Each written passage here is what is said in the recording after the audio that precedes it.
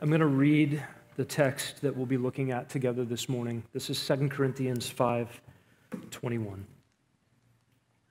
He made him who knew no sin to be sin on our behalf, so that we might become the righteousness of God in him.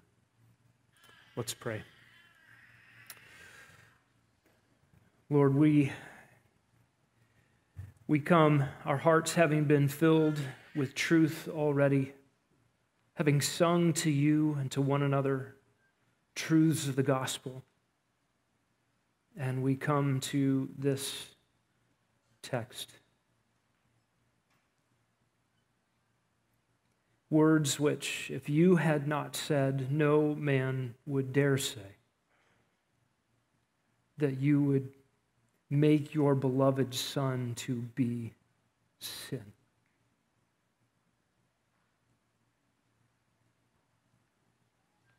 No man is worthy to utter these things. No angel could comprehend them.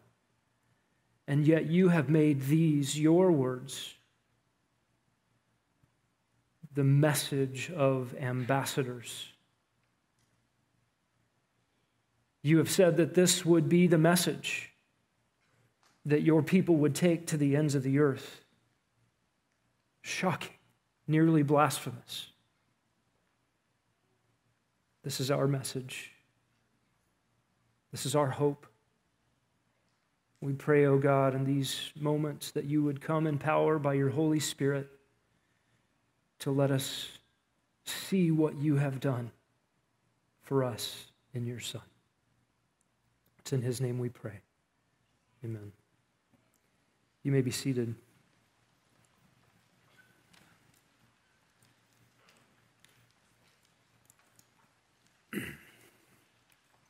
We've been in a seven part series in Second Corinthians, and I want to give you a little bit of a preview of, of where we're going in the pulpit uh, in the coming months. Um, we will be diving in verse by verse to the book of Revelation. That will be our next book study. But we're not going to do that until we finish the book of Daniel on Sunday nights. Daniel is foundational to the book of Revelation. I don't believe you can understand the book of Revelation without understanding Daniel. So we're going to finish Daniel on Sunday nights first before we move into the book of Revelation here on Sunday mornings.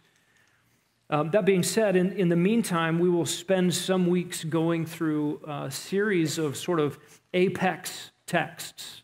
Uh, that is, passages of Scripture uh, that are really, really, really important for the church, which is just another way to say they're some of my favorite um, things that I would really like to preach. And, and just by way of example, um, some of the things on that list will be uh, Galatians 6.1 and John chapter 10, John chapter 17.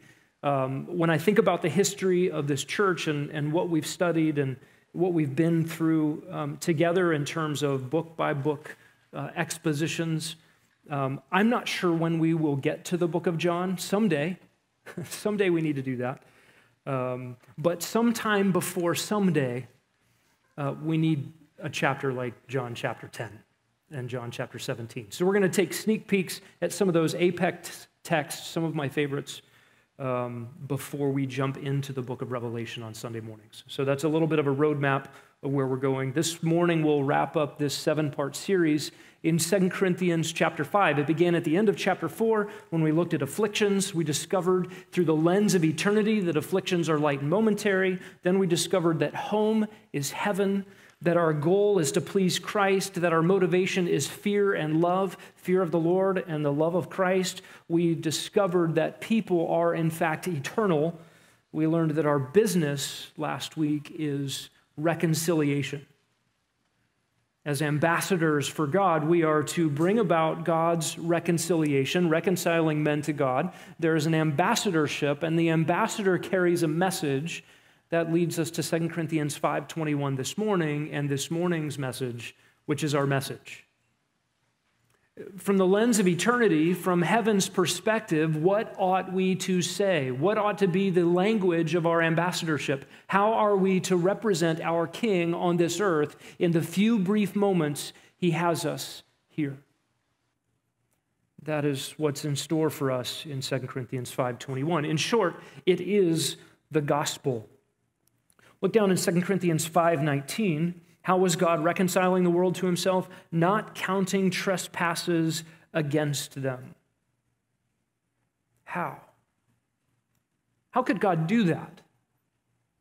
How could God not count trespasses against trespassers?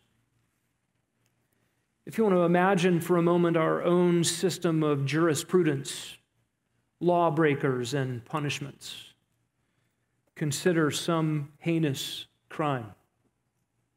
What comes to my mind is a school shooter, somebody who walks through the doors of unarmed masses of vulnerable young ones and carries out some insane murderous enterprise.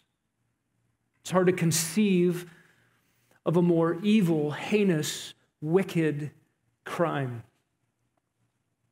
Think for a moment what it would be like for such a guilty, evil individual to come before an unjust judge. A judge who said, You know, we've all made mistakes. And you've received a lot of ignominy and shame in the public eye. That ought to be enough. We're just going to let bygones be bygones and you can go free. What would we think of a judge like that? Evil, heinous, unjust, not good. What does it mean, God not counting their trespasses against them? How can God be both just and a justifier of sinners, as Romans 3:26 says he is? Proverbs 17:15 says, The one who justifies the wicked is an abomination before the Lord. And yet, Romans 4, 5 declares God is the one who justifies the ungodly. How can these things be? This is the problem of the Bible, you see. That the Bible gives God's accurate, right, clear diagnosis of the human problem. This is the problem of humanity. We are all transgressors. We are all sinners. We have all violated God's perfect standards, and we are all liable to his judgment. And it is the problem of God he is holy and just. He is unflinching in his righteousness. How can God then forgive sin and maintain his reputation as good and just and holy? 2 Corinthians 5:21 gives us the answer.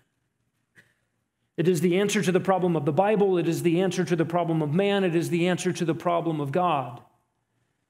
It tells us exactly how God can be both just and a justifier of the heinous, the wicked, the transgressors. And this is the content of our message to the world. A reminder in verse 20 we are ambassadors for Christ, as though God were making appeal for us through us. We beg you on behalf of Christ, be reconciled to God. How is one reconciled to God? God made him who knew no sin to be sin on our behalf, so that we might become the righteousness of God in him. The message of the ambassador is the gospel. And there's a danger of familiarity in this for us. You can walk just about any street in America and ask people, why should God let you into heaven? Oh, because I'm a pretty good guy. Because I'm not as bad as the other guy. You know, I, I'm, I, I haven't murdered anybody. And then the guys on death row think, well, the people I murdered deserved it. Everybody has a relativistic view of their own goodness and therefore dismiss the fundamental problem of sin before a holy God. And yet, people will say, when put to, how do you know if you've done enough? How do you know if you've been good enough? And And the sort of flinch response in America is, well, Jesus died for my sins. They've heard that somewhere, whether in parochial schools or on a television program, or they've heard somebody say it somewhere, and it becomes sort of the backdrop and the safety net of their conscience. I don't have to love God. I don't have to live for God. My life doesn't have to be directed towards Him. I can just go on living my life believing that I'm pretty good. And oh, yeah, and Jesus died for my sins. What does that even mean? Jesus died for my sins. That is the right answer, but the dismissive statement of it, as if it hasn't radically changed your life, reveals that those who say it that way have no idea what it means and it therefore does not apply. It is no safety net for people who otherwise think they're pretty good people. It is the only hope for those who recognize their hopeless plight before a holy God. What does it mean? Well, we need to understand the sentence that rolls off of our tongue so easily, often without thought of, of what it means about who Jesus is, what sin is like, and what God's justice requires. The verse we are about to read is perhaps the profoundest sentence in all of language. In form, it is straightforward and simple and clear, and yet its contents are incomprehensible. Its significance is immeasurable, for it is the difference between heaven and hell, and I'm convinced we will never understand it for all of eternity in its fullness. God made him who knew no sin to be sin on our behalf so that we might become the righteousness of God in him. Notice first in 2 Corinthians 5:21 there is no conjunction uh, there, there is no little word that's connecting it to the other clauses in this chapter. And, and if you read up the page in 2 Corinthians 5, most of the other clauses start with some sort of conjunction. And, therefore, for, now, those kinds of things that connect one to the other. The, the lack of conjunction here is stark, it's abrupt, it arrests the reader in his tracks, and you say, whoa, this stands out. And this stands out as the content of the message of ambassadorship from verse 20. And it arrests our attention this morning, and it ought to stand out. It stands as the message critical to reconciliation with God. And we need to do a little work here together as we look at this verse, make some observations. Notice there are pronouns. Pronoun is just a little word that stands in place of a noun he, she, it, that kind of thing. There are pronouns here. He made him who all of those are, are pronouns. Let's fill in the pronouns with the referent of the pronoun. In other words, we're going to fill in the he, she, or it with the who it is that's being talked about. By the way, this is something you should do every time you read your Bible, and you can discover the referent to the pronoun from context. This actually clears up much in Scripture, a very simple device you can use to help understand your Bible better in your daily reading. Fill in the referent to the pronoun. What are the reference here? How should we read this? Verse 21. And we know this from context. God made Jesus. Jesus knew no sin. God made Jesus to be sin on believers' behalf so that believers would become the righteousness of God in Jesus. And when we fill in the pronouns, we get a clearer picture of who's doing what here. And for the sake of charting our course through this text this morning, we'll consider the passage under three headings Jesus, God, and us. That's our outline this morning. Let's look at Jesus first. Jesus is said to be, according to 2 Corinthians 5:21, the one who knew no sin knew no sin. What, what, does that mean for Jesus to know no sin? Does this mean he was ignorant that sin exists? Does this mean that Jesus doesn't know what sin is? No, of course not. He is God and therefore omniscient. But it simply means he does not have a relationship with sin. He doesn't know sin in the sense of being intimately acquainted with it personally. He has never sinned. He will never sin. He cannot sin. And fundamentally, this is because Jesus the Christ is not merely a man. He, he was not just a good teacher. He was not a moralizer. He was not a hero nor a martyr. He was not an example of love or any of those mere human approaches to the person of Jesus the Christ. Jesus the Christ is fully human, yes, but also fully God. Born not in the line of Adam, and his virgin birth demonstrated that he was untainted by the corruption we all inherit from our parents, all the way back to Adam and Eve. Jesus of Nazareth is none other than the Son of God, the second person of the triune Godhead, the Word of God present with God before there was a beginning to anything. He is the agent of creation, the one who actively sustains the universe by the word of his power. He is the one who was God and with God and who took on flesh and tabernacled among us. He possesses all of the attributes of Godness, and he took on all of the attributes of humanity, yet untainted by sin.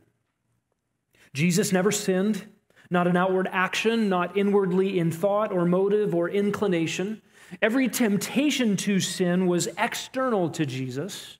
There was nothing in him that sinned, nothing in him that could sin. Listen to this testimony of scripture. Acts 3:14, he is the holy and righteous one. Hebrews 4:15, one who is tempted in all things as we are, yet without sin. Hebrews 7:26, a high priest holy, innocent, undefiled, separated from sinners, and exalted above the heavens. Hebrews 9:14. Christ offered himself without blemish to God. 1 Peter 1:19. He redeemed us with precious blood as of a lamb unblemished and spotless, the blood of Christ. 1 Peter 2:22. Jesus committed no sin, nor was any deceit found in his mouth.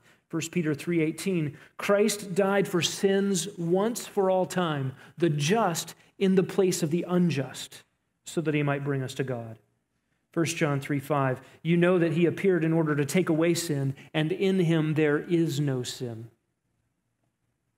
One pastor said it this way There has never been a human being on this planet of thousands of years and billions of people who, for one fraction of a second, loved the Lord his God with all his heart and strength. And yet, this Jesus of Nazareth, there was never one second that he did not. Jesus knew no sin.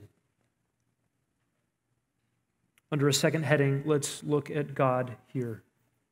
God made Jesus, who knew no sin, to be sin on our behalf. God made Jesus to be sin for us. God is doing this work. God the Father is initiating this work. God the Father is causing God the Son to be something.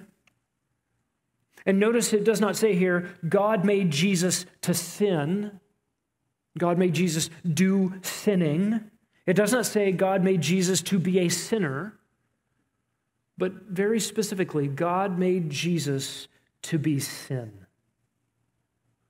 This is an ontological statement. That is, it's a statement about being, about who he is or, or who he was at the cross. One scholar has said this sin has not merely to do with our works, but our whole person in guilt and rebellion, condemned and enslaved. And so, for Jesus to be sin at the cross is for him to be the embodiment of sin and guilt, not just outward activities, but sin through and through. And listen, if this verse did not say these words explicitly, we could never say it. We're on the precipice here of very dangerous thoughts. If we go too far, we blaspheme. And if we don't go far enough, we cannot be saved. There's a very narrow window of accuracy in this verse, and yet is the difference between life and death and heaven and hell, of forgiveness and of remaining in our sins forever. And 2 Corinthians 5:21 constrains us to believe something astounding, a shocking work of God's grace in the gospel, that the sinless one became sin, the very embodiment of sin. You see, at the cross, Jesus the Christ was enveloped. He was wrapped in, clothed by, covered with sin that was not his own. The sin that he became did not belong to him, it, it was not his. Sin was external to him, outside of him.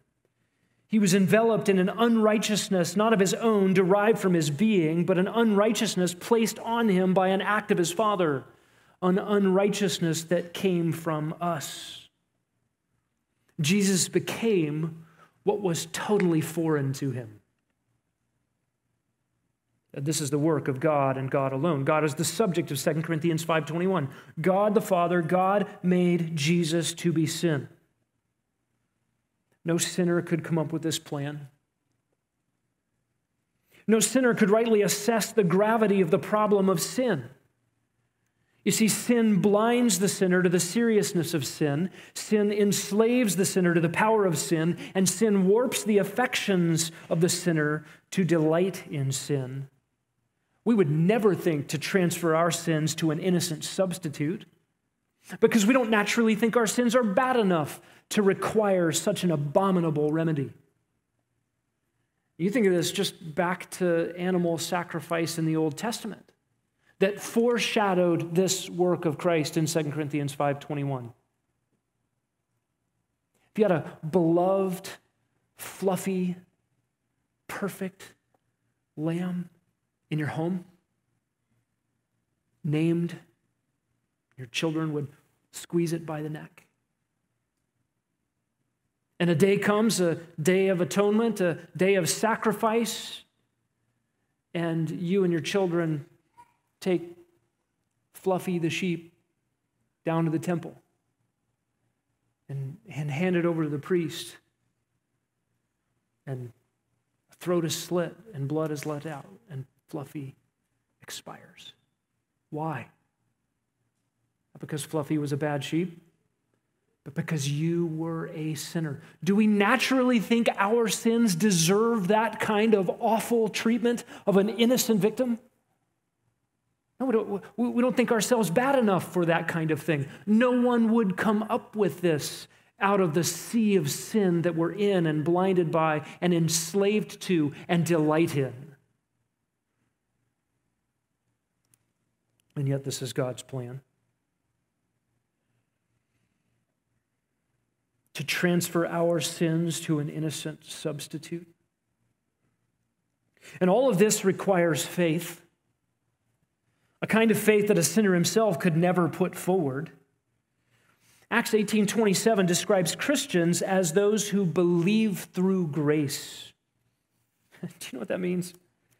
Belief itself comes by grace. Grace is the agency by which sinners believe in substitutionary atonement. Faith produced by a sinful human heart will never lead that sinner to eternal life, but faith introduced in the heart by grace opens the eyes, softens the inner disposition, and impels the sinner to acknowledge his sins against God and to run to Christ for forgiveness. By grace you have been saved through faith, and this not of yourselves, it is the gift of God of Ephesians 2 8. And notice the phrase, God made Jesus who knew no sin. God made Jesus to be sin on our behalf. This prepositional phrase is the language of substitution. A short, simple Greek preposition that makes the difference between heaven and hell. This on behalf of, uh, it means in the place of or instead of. It is a preposition of substitution. That an innocent victim was substituted for the vile sinner. To Jesus' person were transferred all of the sins of everyone who would ever believe, past, present, and future, so that at the cross he became sin wrapped in our sins, clothed in our transgressions. They were laid upon him by his Father. As the old hymn says, In my place, condemned he stood. We see the Old Testament picture of these substitutions in Genesis 3, right after the fall, with animal skin coverings. Animals had to die so that sins could be covered. The ram in the place of Abram's son in Genesis 22 13. The Passover of Exodus 12. The Day of Atonement in Leviticus 16.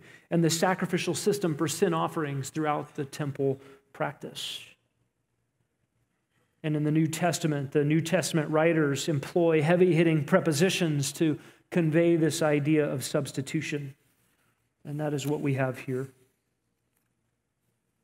Paul in 2 Corinthians 5:21 echoes identification, substitution, and atonement that is found in Isaiah 53. Listen to the prophet's words. He, that is Jesus, was pierced through for our transgressions.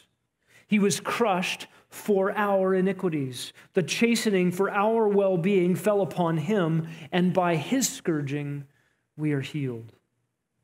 All of us, like sheep, have gone astray. Each of us has turned to his own way, but Yahweh has caused the iniquity of us all to fall on him.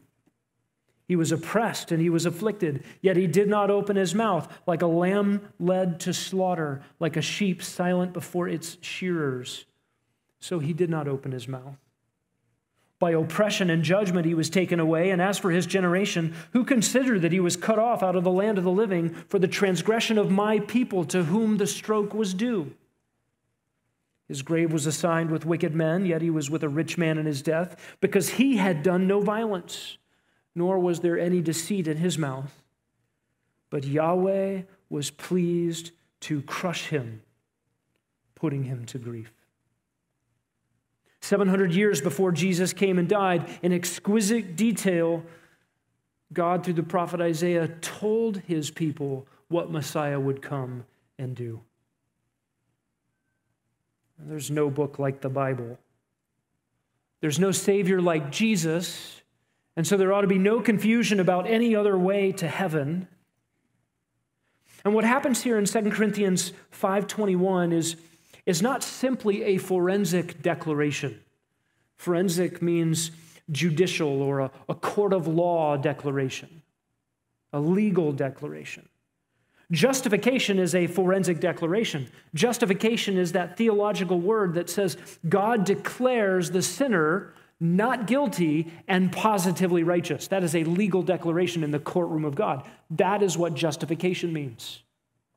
What's happening here is the basis of a forensic declaration. What happens in 2 Corinthians 5:21 is the foundation from which that legal declaration could be made. This is a forensic transfer. Sinners can be declared not guilty of their sins precisely because and only because Christ became sin on our behalf. Actual sins and personal sinfulness were transferred to Christ in his person at the cross.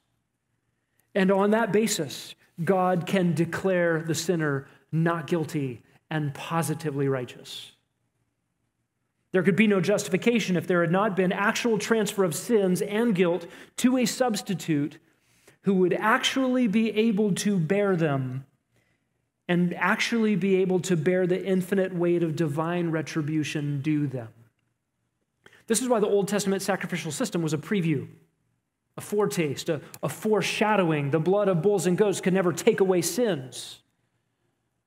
But God instituted them as an object of faith for his people to trust in God's provision to take away sins, which would one day be found in the person of Jesus Christ a finite animal in the place of infinitely guilty, sinful humans couldn't assuage God's wrath eternally. They were provisional, they were a shadow of what came in Christ. Only the Lord Jesus Christ could take away sins by a substitutionary death. That leads us to us. God made Jesus, who knew no sin, to be sin on our behalf, so that we, so that we might become the righteousness of God in him. The we, the us here, uh, these are believers and, and Paul has been talking about himself and his apostolic associates and their ministry and his own reconciliation to God, and then describes ambassadorship. And we looked last week at how that ambassadorship includes all believers. And he makes his appeal be reconciled to God. And then in verse 21 gives the content, the message of that reconciliation. And so the we, the us here, is appropriately all believers. Everyone who is reconciled to God. There is no other way to be reconciled to God than through the substitutionary death of Jesus. And notice what is said. This is a so that statement, a purpose or a result, so that we would become the righteousness of God in Him. And our English versions use the word might. Do you see that in there? So that we might become the righteousness of God in Him. Might here is not a maybe or a perhaps or a could have might here simply expresses purpose. I am going to eat lunch today, if the Lord allows, so that I might not starve. Uh, in my mind, there's no maybe about whether I'm going to eat lunch. Um, it, it describes purpose. It is, it is appropriate to think of this verse this way God made Jesus, who knew no sin, to be sin on our behalf so that we would become the righteousness of God in him. Uh, there's no confusion here. There's no maybe here. There's no hint of possibility here. This is just a grammatical way to describe purpose. And what's interesting grammatically, whenever you have a purpose statement like this in the New Testament, and God is the subject, God is the actor acting out his purpose, it also conveys the idea of result. Purpose and result are equal when God is the one doing the work. Why? Because he always gets what he wants. He sets out with his purpose to actually make us to be his righteousness. And that is actually what happens. The purpose here and the result here are the same. Notice what he does not say. God made Jesus to be sin on our behalf so that we could start trying hard to become righteous. Right? That is the Catholic view. That is, frankly, the Bible Belt cultural Christianity view. Uh, the, the, the, kind of view that you, you grow up in America. I was born in Texas. If you're born in Texas, you're a Christian. It's just sort of how that works there. Uh, I don't mean in a saving way, I just mean culturally. And in the backdrop is that, oh, yeah, Jesus died on the cross for my sin. Just rolls off without the thought of who Jesus is and what his death means, what the cross was, uh, bearing the wrath of his Father against my sin, and what it means that he died for me in my place as the substitute. I deserve that. Christ in my place. And this sort of cultural Christianity view is yeah, Jesus died for you, so it's a good thing you're a pretty good person. Keep trying harder to be a good person, hope you make it. That is not the Bible's message. This is not a Jesus died so you could maybe try harder. What is the purpose and the result here? God made Jesus, who knew no sin, to be sin on our behalf so that we would become God's righteousness. This is not a process in view here. It is instantaneous, an unchangeable reality at the moment of faith. Listen, just as God identifies Jesus with sin that was totally foreign to him, so now God identifies believers, listen to this, with his own righteousness. That we would become the righteousness of God in Christ declared righteous based on a new ontological reality, a reality of being. We believers are the righteousness of God in Him. Notice the parallel in the text. Just as Christ became sin on our behalf, so we also become the righteousness of God in Christ. Christ, being without sin, was treated as a sinner in fact, he was treated as the greatest sinner, the, the, the concomitant uh, compilation of all the sins of everyone who would ever believe in one person. And so he bore in his person at the cross unspeakably more than any individual could ever bear. He was held to account for more sins than any individual will ever be held account for by unspeakable degrees of magnitude. And what is the exchange? We, the ungodly, are treated as perfectly righteous. This is what Paul echoes in his own testimony in Philippians 3. He says, Not having a righteousness of my own derived from the law, but a righteousness that comes from God by faith. That is, the believer is wrapped in God's righteousness, enveloped, clothed in it. This is how 2 Corinthians 5:19 God is not counting our trespasses against us because he has reckoned to Jesus' account my sin. And he has reckoned to my account his own perfect righteousness. And this is true for all who are in Christ. This is what theologians call imputation or reckoning or credit. Double credit. God credits Jesus with my sin, and God credits me with his own righteousness. These are accounting terms. Theologians speak of double imputation. Our sin to Christ's account, God's righteousness credited to our account. That is here in this text. God was willing to view his son as sin the embodiment of sin. Our sins imputed to his account so that he can view us as his righteousness, his own righteousness, because we are found in Christ. God treated his son as if he had committed every sin of every believer of all time. God judiciously punished all of that sin to its fullest, to infinite degree in keeping with the infinite wrath due sin coming from the immeasurably glorious goodness and justice of an infinite being. By the way, only an infinite being could absorb infinite wrath in a finite period of time at the cross. That's why there is no possible Savior outside of the Lord Jesus Christ. It's why if Jesus be not God, we have no Savior.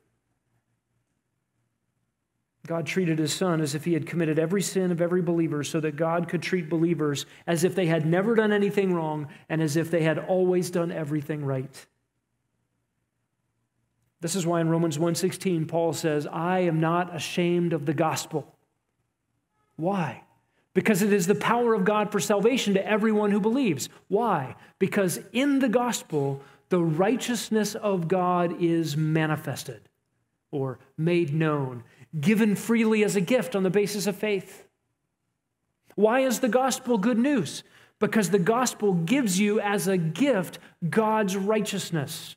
And that is the only thing that will meet God's infinite standard for entrance into his presence in heaven. You cannot get to heaven without God's righteousness. And praise God, in the gospel, God provides it as a free gift to any who would believe.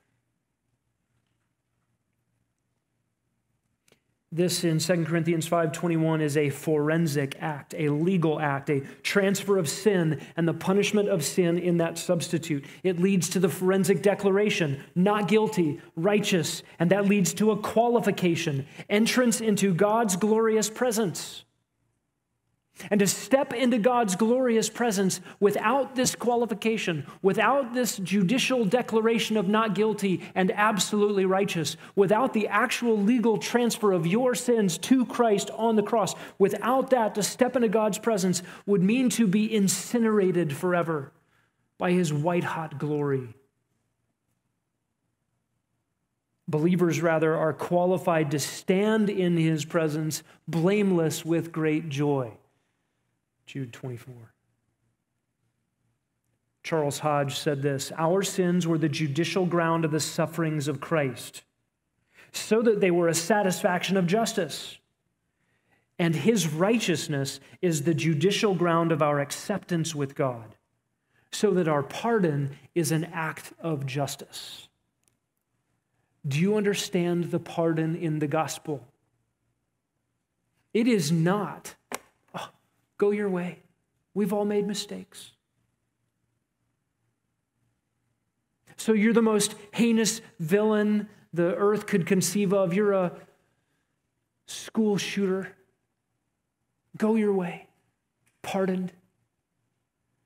No, our pardon came at a price the precious blood of Jesus Christ. It is not a winking at sin, it is not letting sinners go.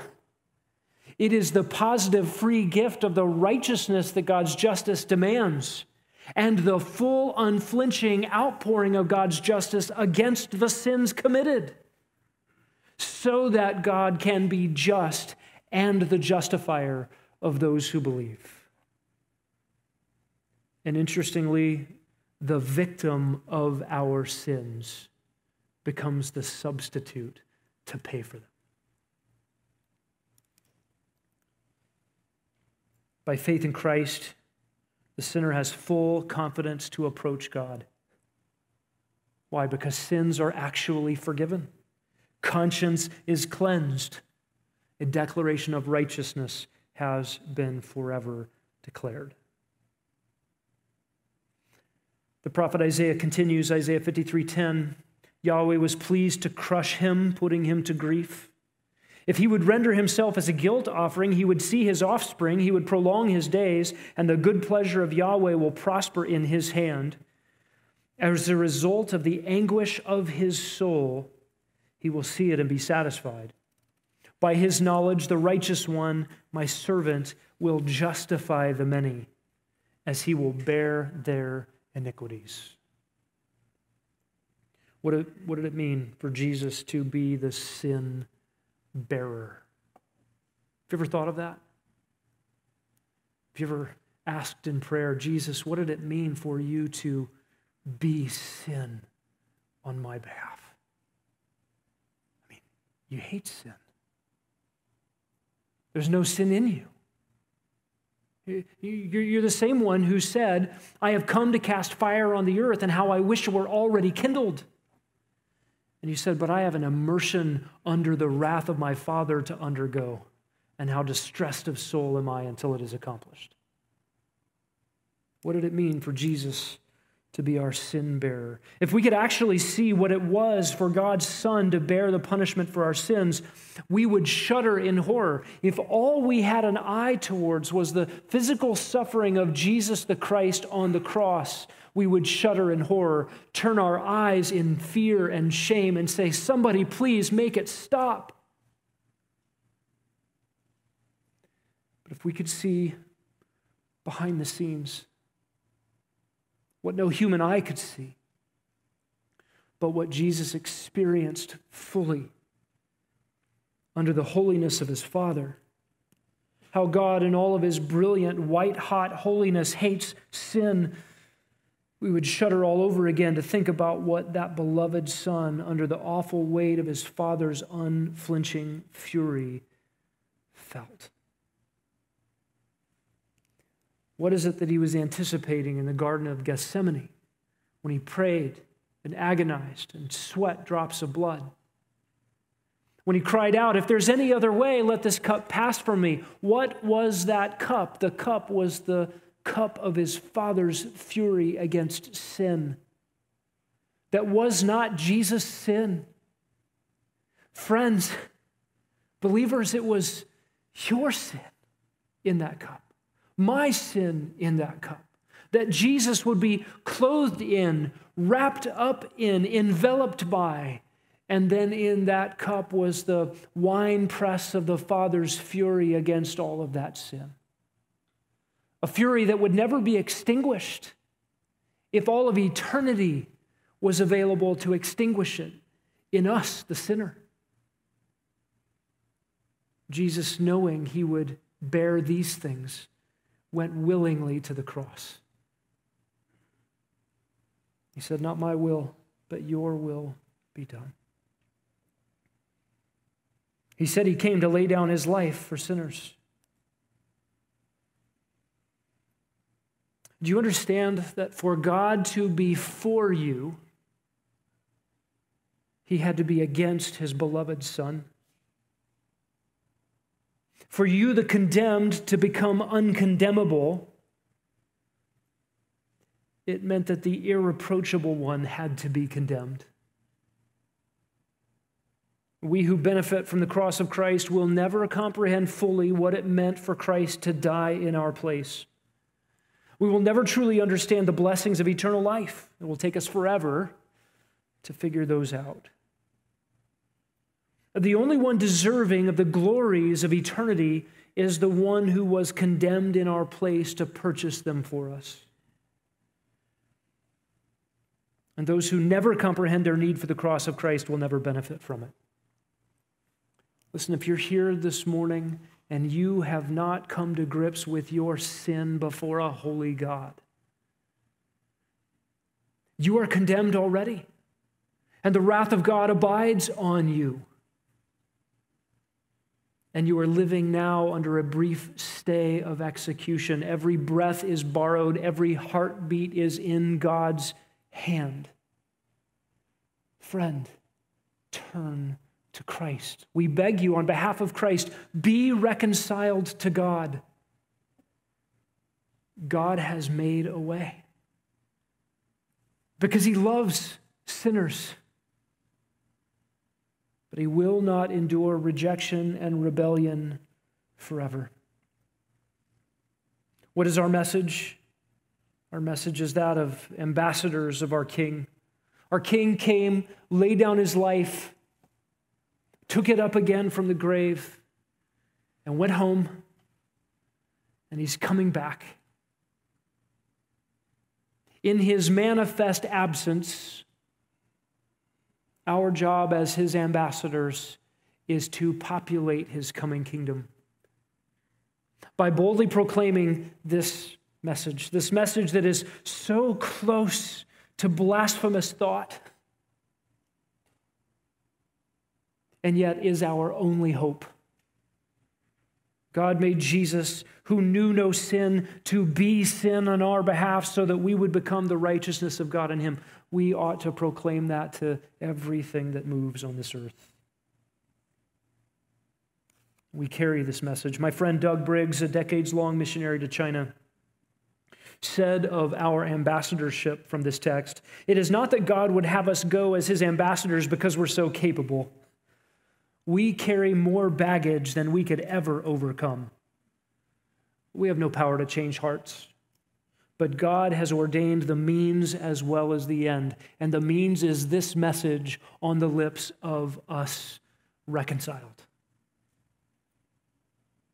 What do we have besides our own baggage? These words God made Jesus, who knew no sin, to be sin on our behalf so that we might become the righteousness of God in him. The old hymn reflecting on Isaiah 53 says, Man of sorrows, it's on the screen for you, you can follow along. Man of sorrows, what a name for the Son of God who came, ruined sinners to reclaim.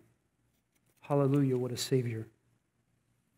Bearing shame and scoffing rude, in my place condemned he stood sealed my pardon with his blood. Hallelujah. What a Savior. Guilty, vile, and helpless we. Spotless Lamb of God was he. Full atonement can it be? Hallelujah. What a Savior. Lifted up was he to die. It is finished was his cry. Now in heaven exalted high. Hallelujah. What a Savior. When he comes, our glorious King, all his ransomed home to bring, this anew his song will sing. Hallelujah. What a Savior. Let's pray.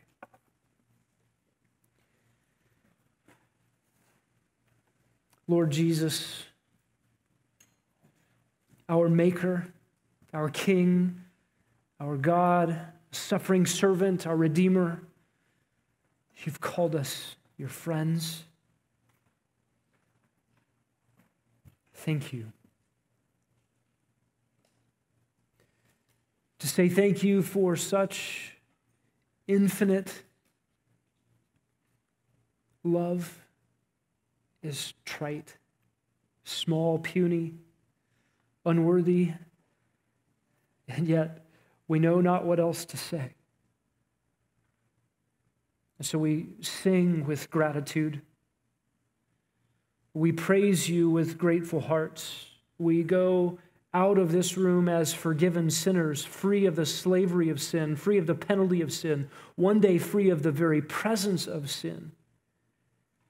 And we go out of here as your ambassadors, sinners redeemed, the vile reconciled, missionaries, evangelists. Make us so for your glory. God, would you be pleased to draw people to yourself even this week by our feeble testimony of your incredible power? And may your Lamb, our Savior, receive the reward of his suffering.